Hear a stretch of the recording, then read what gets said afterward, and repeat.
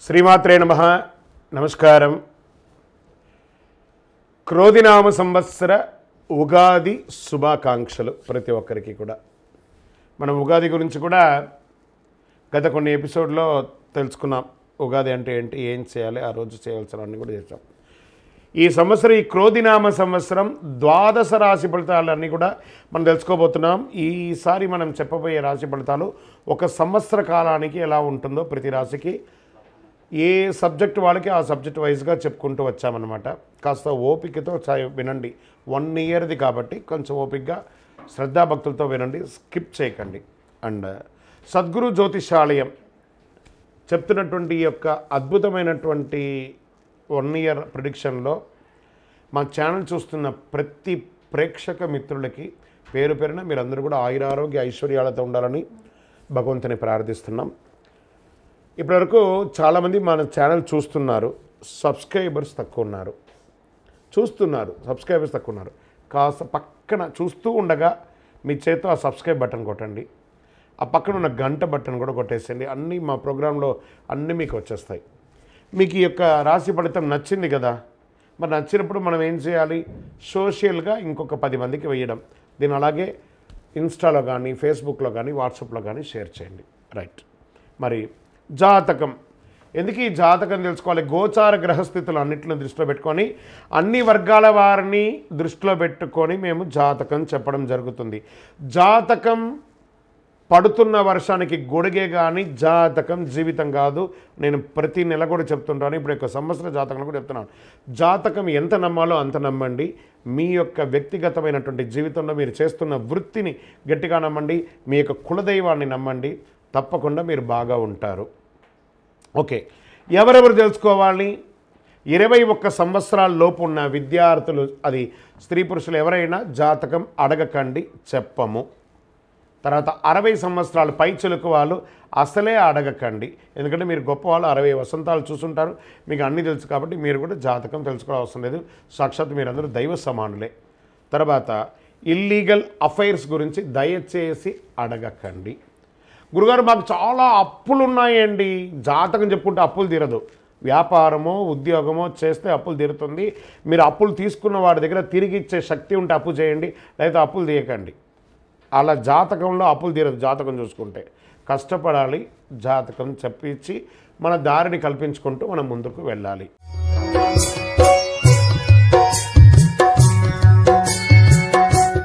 సద్గురు జ్యోతిషాలయం వారి ఈ యొక్క క్రోధినామ సంవత్సరం ద్వాదశ రాశుల్లో మొట్టమొదటిదిగా అశ్విని నక్షత్రం ఒకటి రెండు మూడు నాలుగు పాదములు భరణి నక్షత్రం ఒకటి రెండు మూడు నాలుగు పాదములు కృతికా నక్షత్రం మొదటి పాదానికి జన్మించిన మీరు మేషరాశి వారిగా పరిగణించబడుతున్నారు.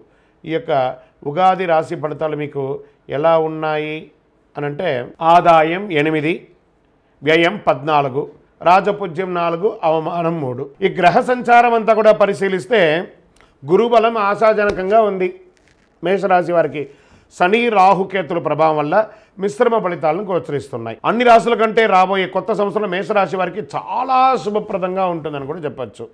ఓకే. ఆర్థిక స్థితి ఎలా ఉంటుంది ఈ సంవత్సరము? మే తర్వాత ఆర్థిక పరంగా మీకు మంచి ఫలితాలను అందిస్తుంది. ఆరోగ్యపరంగా కూడా బాగుంటుంది.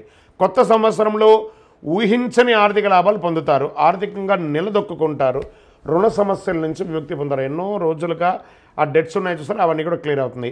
ఆత్మవిశ్వాసం పెరగడంతో పాటు పనుల్లో సులభంగా విజయాలు సాధిస్తారు. మీ వ్యాపారాన్ని మల్టిపుల్గా దీన్ని తీసుకువెళ్ళడానికి ప్రయత్నం చేస్తారు. నూతన వ్యాపారాలు కలిసి వస్తాయి. సొంతంగా ఏదైనా చేయాలనే ఆలోచన కార్యరూపం దాలుస్తుంది. మంచి తెలివైన పెట్టుబడులు పెట్టడం ద్వారా కొత్త ఆదాయ మార్గాలు అన్వేషించడం ద్వారా ప్రోత్సాహకరంగా దొరుకుతుంది. ఉద్యోగం. ఈ ఉద్యోగం చేస్తున్న వారికి కార్యాలయంలో పనికి తగ్గ ప్రశంసలు అందిస్తాయి. ప్రమోషన్ అవకాశాలు ఉన్నాయి కొత్తగా ఉద్యోగం కోసం ప్రయత్నం చేసే వాళ్ళకి ఇదొక మంచి సమస్య మంచి అవకాశం ఉన్నాయి. ఉద్యోగంలో పని చేస్తున్నటువంటి వారికి అది ప్రైవేట్ రంగం వారు కానీ లేదా గవర్నమెంట్ రంగం వారు కానీ మీరు అప్రిషియేట్ పొందే అవకాశాలు చాలా బాగున్నాయి. ప్రలోభాలకి లొంబ లొంగకండి. దానివల్ల మీ ఉద్యోగం కోల్పోయే అవకాశాలు న్యాయపరమైనటువంటి ఇబ్బందులు కలిగే అవకాశాలు బాగా ఉన్నాయి. ఇంకా వైద్య న్యాయ సాంకేతిక రంగాల వారికి చాలా బాగుంటుంది. వ్యవసాయ రంగం వారికి ఖరీఫ్ కంటే కూడా రబీ ఆశాజనకంగా ఉంటుంది. పారిశ్రామికవేత్తలకి చాలా అద్భుతమైనటువంటి సమయం కూడా చెప్పొచ్చు. ఊహించని ఆహ్వానాలు వస్తాయి. విదేశాలకి ఇండస్ట్రియల్ టూర్ కూడా వెళ్ళే అవకాశాలు ఉన్నాయి. రాజకీయ నాయకులకి మంచి అవకాశాలు. ఈ సంవత్సరం భారతదేశంలో ఎలక్షన్స్ కూడా చాలా రాబోతున్నాయి. మీరు ఈ మేషరాశి వారు కీలక పాత్ర పోషించే అవకాశాలు ఉన్నాయి. ప్రజాక్షేత్రంలో మంచి పేరుంది. కాస్త నోరు అదుపులో పెట్టుకొని మాట్లాడండి. గృహంలో శుభకార్యాలు జరిగే సూచనలు బాగున్నాయి. దంపతుల మధ్య సఖ్యత లోపం ఉండి అవన్నీ కూడా అకాల కలహ కలహాలని తొలగి ఆనందంగా ఉంటారు. దూర బంధువులతో సంబంధాలు బలపడతాయి. ఇంట్లో వివాహం కాని వారికి వివాహం అయ్యే అవకాశాలు ఉన్నాయి తరచు విందు వేడుకలు ఈ సంవత్సరంలో ఎక్కువ ఉంటాయి. నూతన వాహనం కొనే అవకాశం ఉంది. సంతానం భవిష్యత్తుపై చాలా శ్రద్ధ వహిస్తారు.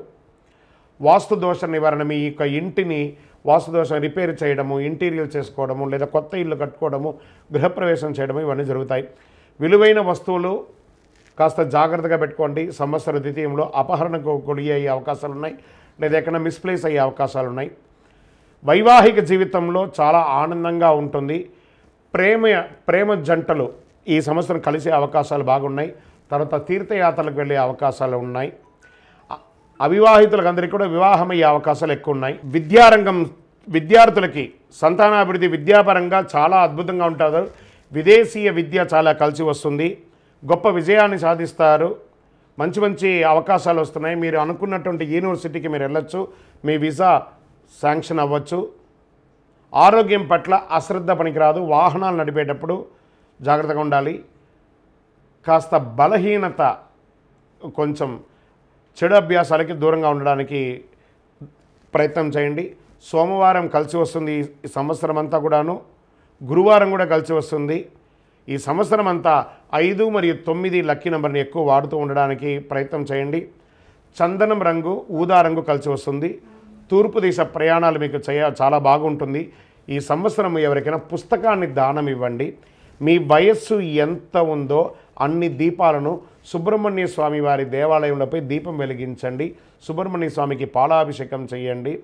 సుబ్రహ్మణ్య భుజంగ స్తోత్రాన్ని పారాయణం చేయండి. మీ యొక్క సంపూర్ణ జాతకాన్ని ఈ యొక్క గోచారం ద్వారా మేము చెప్తున్నాం కదా సంపూర్ణ జాతకాన్ని తెలుసుకోవడానికి మీ పరిసర ప్రాంతాల్లో ఉన్నటువంటి జ్యోతిష్ శాస్త్ర నిపుణుల్ని సంప్రదించండి. లేదా మా ద్వారా కూడా ఈ కింది నంబర్ ద్వారా తెలుసుకోవాలనుకుంటే మీ పేరు మీ యొక్క date of birth time of birth place of birth WhatsApp చేయండి.